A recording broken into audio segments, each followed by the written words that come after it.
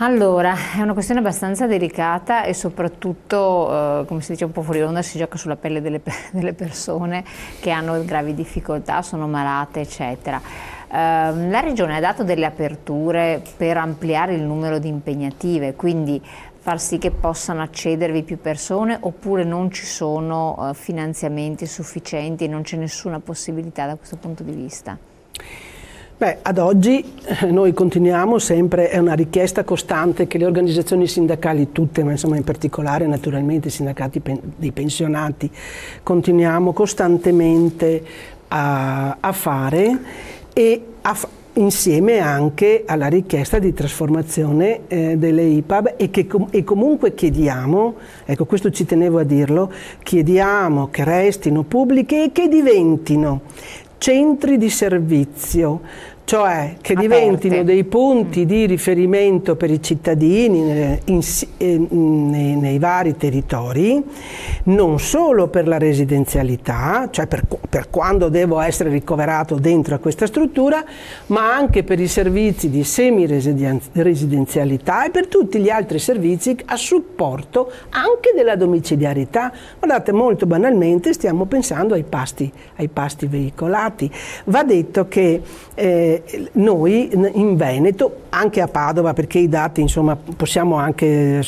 ma noi in Veneto stiamo davvero invecchiando. Quando lo diciamo... Um, vanno detti dei numeri. Nel Veneto siamo in 4 milioni e 900 mila abitanti, di cui un milione over 65. Quindi il 22% dei veneti è over, è mm, over 65. Di questi, di questi il 18,7% di persone anziane, quindi oltre 200.000, sono non autosufficienti. Quindi noi stiamo parlando davvero di problemi grossi che interessano tutta la regione. Abbiamo 27.300 ospiti nelle 310 strutture del Veneto ed è una, una discreta copertura come, come, numero di, perché se andiamo a, a, valutare per esempio i dati nazionali, insomma è, una, è, un, è, un, buon livello di copertura, ma non sono sufficienti. Ecco, non però sono... ci sono posti vuoti ancora nelle case di riposo. Legati a, a questo problema, cioè, legato al fatto che se non ho la chiave che mi fa entrare, che è questa benedetta impegnativa. impegnativa, che mi consente, che consente alla famiglia, al pensionato di eh, coprire no, quella parte alberghiera, preghiera, io se non ho in mano quella chiave non entro, a meno che io non abbia delle situazioni di gravità eh, che sono anche legate all'invecchiamento, no? perché poi la valutazione viene fatta sul mio livello di salute che dicevamo, no? certo. c'è una unità, si chiama, guardate così non diciamo, si chiama unità di valutazione multidisciplinare distrettuale che elabora una scheda SVAMA, cioè analizza 17 certo. parametri, in base a quello dice il tuo grado di non autosufficienza. Certo che se sei non autosufficiente al 100%, no, è chiaro ecco, che... ma io chiedo, facendo ma tante volte... Ci sono tanti anziani eh, che per esempio vivono da soli, da soli o in coppia, certo. perfetto eh, non hanno, hanno, difficoltà ad ambulare, non possono andare a fare la spesa, hanno difficoltà a muoversi per casa, possono cadere, non hanno eh, assistenze vicino di carattere parentale, eccetera, magari i figli lavorano lontano e così via comunque.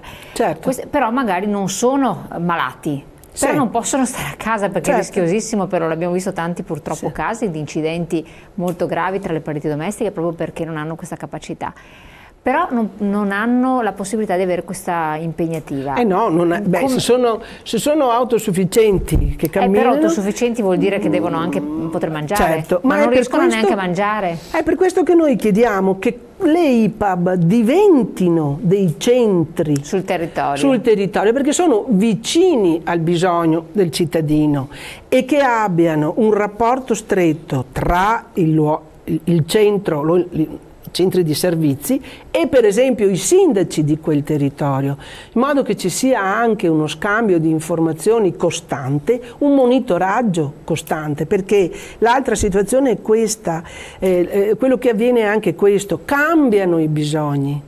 Eh, c'è poco da fare, invecchiando l'autonomia certo, diminuisce, quindi cambiano i bisogni e noi dobbiamo dare le risposte giuste al bisogno che si crea in quel, in quel momento che va cambiando, che va, um, di, insomma, cambia, si, va, si, va, si modifica. Quindi è questo quello che noi chiediamo, che che queste, le IPAB restino pubbliche, diventino appunto punto di riferimento per questa popolazione di, in quel territorio e che possano dare tutti i servizi di cui i cittadini hanno bisogno. Siamo in chiusura, eh, che cosa possiamo dire, ribadire, ricordare e quindi prossime iniziative? Perché non si organizza un presidio fisso a Venezia? Hanno perso la visione del popolo, ogni tanto dobbiamo ricordargliela.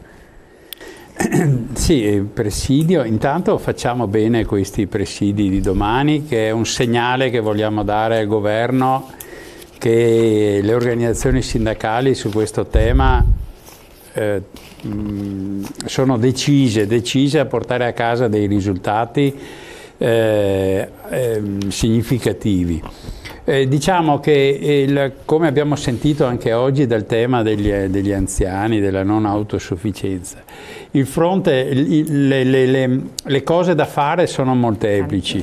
Eh, noi come sindacato dei pensionati cerchiamo di dire, focalizzare la nostra iniziativa da una parte per la difesa del reddito dei pensionati, perché questa è la precondizione per avere una possibilità diciamo, di poter agire, perché adesso non è stato citato, ma molti, qui si intreccia molto col tema delle badanti, ah, della certo. necessità, la Regione non so se abbia già fatto, sta per fare una legge, eh, perché era in discussione, discussione era in discussione il 10 di ottobre eh, sul tema delle badanti, perché lì bisogna fare anche lì una regolamentazione diciamo, efficace per perché altrimenti corriamo il rischio di dare una roba. Quindi il sindacato è presente sul territorio, bisogna come dire, anche partecipare, sostenere, sostenere e soprattutto partecipare, eh, dare una mano, c'è nelle nostre sedi una grande disponibilità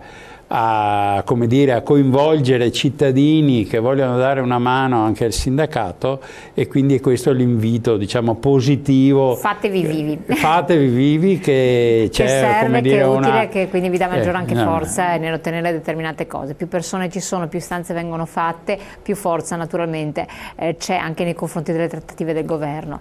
Grazie a voi di essere stati qui con noi, sì. Ivana Fogo e eh, Daniele Tronco, grazie a voi di averci seguito come sempre, noi vi terremo aggiornati, comunque fate pure le vostre domande, ricordateci, sollecitateci su certe scadenze che magari eh, ci possono sfuggire, eh, vedremo dopo la data ovviamente del 24 se non erro eh, ottobre cosa succederà, incrociamo le dita, intanto buon proseguimento, grazie.